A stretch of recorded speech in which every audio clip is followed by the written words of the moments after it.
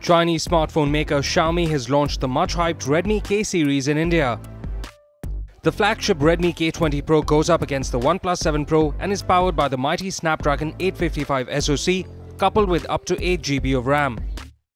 It also gets a 6.39-inch Full HD Plus display, triple rear camera setup with a 48-megapixel primary sensor, 20-megapixel pop-up selfie shooter, 4000 mAh battery and 3D curved glass back.